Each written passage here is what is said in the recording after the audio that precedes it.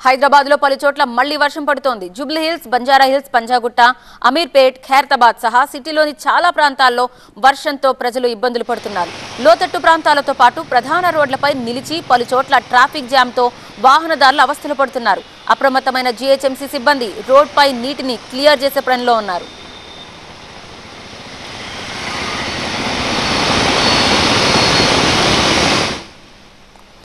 హైదరాబాద్తో పాటు పలు జిల్లాల్లోనూ వర్షాలు పడతాయని చెప్తున్నారు వాతావరణ శాఖ అధికారులు. రాగల ఇరవై నాలుగు గంటల్లో ఆదిలాబాద్ నిర్మల్ నిజామాబాద్ జగిత్యాల రాజన్న సిరిసిల్ల కరీంనగర్ భద్రాద్రి కొత్తగూడెం వికారాబాద్ జిల్లాలో మోస్తరు నుంచి భారీ వర్షాలుంటాయన్నారు.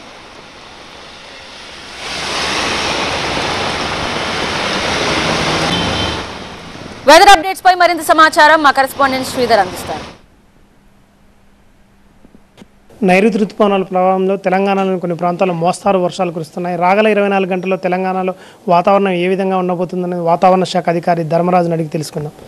సార్ రాగల ఇరవై నాలుగు గంటల్లో తెలంగాణలో ఏ ప్రాంతాల్లో వర్షపాతం నమోదయ్యే అవకాశాలు ఉన్నాయి? ఆగస్ట్ నెలలో కనుక చూసుకున్నట్లయితే నైరుతి పవనాల అనే యొక్క బలం అనేది మందకోడిగానే ఉంది. ఈరోజు రేపు కనుక చూసుకున్నట్లయితే ఇది కొంచెం ఈ నైరుతి ప్రవణాల యొక్క బలం పుంజుకొని చురుగ్గా కదులుతున్నాయనే చెప్పొచ్చు. ముఖ్యంగా ఈశాన్య మరియు దక్షిణ తెలంగాణ భాగాల్లో ఉన్నటువంటి కొన్ని చోట్ల మాత్రం భారీ వర్ష సూచనలు అయితే మేము జారీ చేయడం జరిగింది.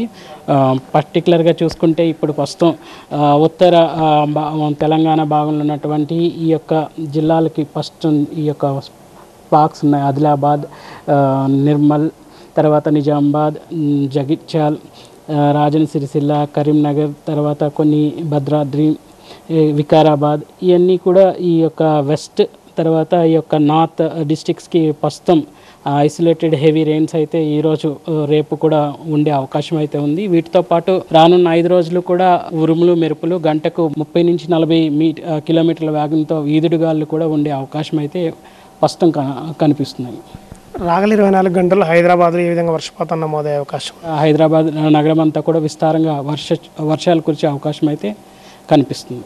గత వచ్చే వారంలో చూసుకుంటే బంగాళాఖాతంలో అల్పపీడనం ఏర్పడే అవకాశం ఉందండి. ప్రస్తుతం ఒక అల్పపీడనం అయితే కొనసాగుతుంది. అది కొంచెం పుంజుకునే సూచనలు అయితే కనిపిస్తున్నాయి.